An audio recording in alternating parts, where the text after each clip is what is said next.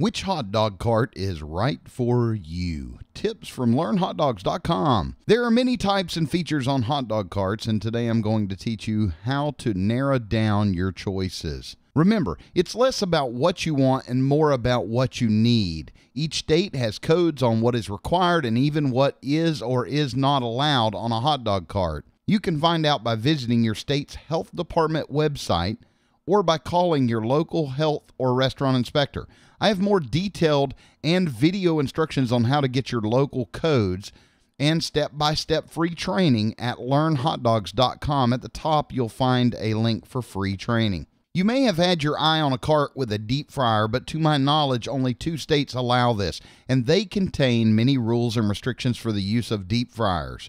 Your menu will also determine what features your cart must have. But remember, even the types of foods you offer are restricted by the state, so you'll want to check that as well.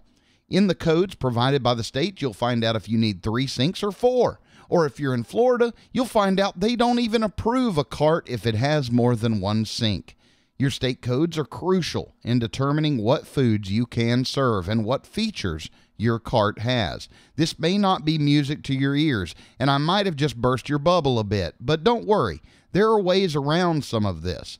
Before we go there, though, be sure to go over to my YouTube page at youtube.com forward slash Ben's Carts and search Why Just Hot Dogs. Or do the same search with Google. Just type in Why Just Hot Dogs on Google and click the video search. But don't be disappointed. There is a little known trick to getting around many of these insane health department restrictions. It's called catering. Just being classified as a caterer opens up the door so you can offer more. But before you rush out and buy a hot dog cart, you'll still want to make sure you do everything right. Go over to learnhotdogs.com and type in the search box cater or catering or both and just or just go straight to this link here. That one article may just be your ticket to serving whatever you want. And if you are following my advice and are purchasing a used cart first, please watch the video about buying a good used cart. You can find that at learnhotdogs.com forward slash used. Watch that video there, and it will give you some. It's not a takedown on used carts, it's about how to buy a used cart and getting the best value for your dollar. Another issue vendors call me about is the size of the cart.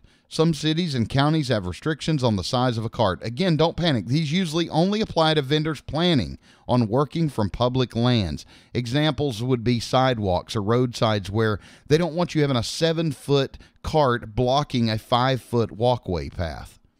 As far as operating a cart in front of Bobby Joe's body shop, that is most likely private property and the size would not matter. Let's recap quickly. Check your state codes for features you can and can't have. Check your state codes for types of food you can serve. Check local, city, and county ordinances relating to size. Learn about catering and how that can open up all your doors.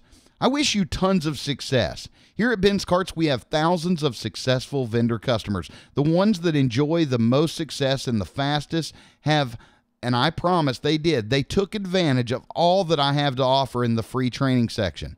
It may be a little overwhelming, but there are over 100 videos and over 600 training articles, all free for the taking. You could literally learn enough there that you could start on your first day as an experienced vendor. You'd have avoided the great big learning curve many, as, many of us have faced.